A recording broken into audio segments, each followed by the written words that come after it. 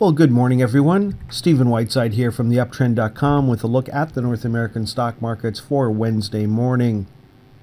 In the pre market this morning, stock index futures and crude oil are slightly higher, while gold is slightly lower in the pre market on Wednesday morning. Now, Tuesday was an interesting day. The VIX uh, traded down and closed in the channel, still on a big buy signal here. We do have an early warning signal on the panic zone chart, so this run up in the VIX may be over, uh, but we certainly need to uh, see some buy signals on the daily index charts and a sell signal in the VIX to confirm that. Now, last Thursday was an interesting day. Uh, coming into a long weekend, uh, the U.S. stock market usually has a bullish bias to it but we didn't see that on Thursday, and we made a low for the week on Thursday, and uh, that did not take out the March low just yet. So that's our big line in the sand right now. S&P 500 cash index 2322.25. A breakdown below that will be certainly be uh, seen as a major negative event for the market. Now we continue to make lower highs here. Now we're waiting to see if we make a lower low. On Monday, we actually came back and uh, we were pretty strong on Monday. A lot of people around the world were on holidays, and so not a lot of adult supervision on Monday.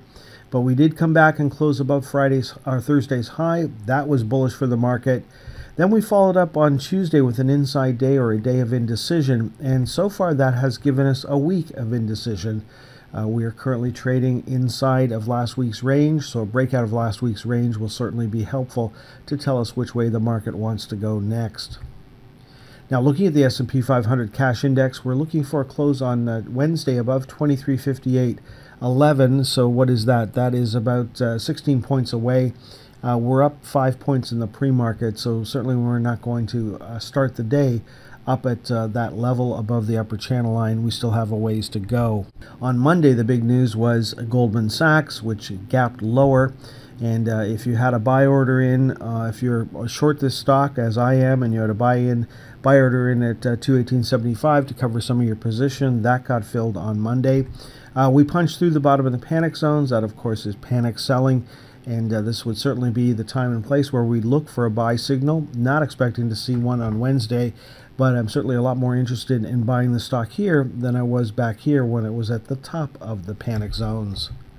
Now, last night IBM reported, and uh, coming into uh, uh yesterday's uh, close, uh, we were looking for support at 168.75. If that broke, 162.50 is our next target to the downside. And when I started making this presentation this morning, that's exactly where we were trading. Of course, uh, those numbers are going to fluctuate in the pre-market up until the open, so they're not going to be the same when you look at uh, get a live update of what IBM is trading at in the pre-market.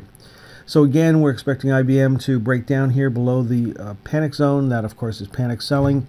If we look over to the left here, you'll see that we have a wide uh, area of potential support, about six weeks worth of trading in that range, and that's about where we're going to open this morning. So we'll have to see if that holds going forward. Now, financial services are still a drag on both sides of the border. Obviously, uh, Goldman Sachs gapping lower is not helping this sector right now. Inside day yesterday for the Spider Financials ETF, inside day for the TSX Financial Services Index.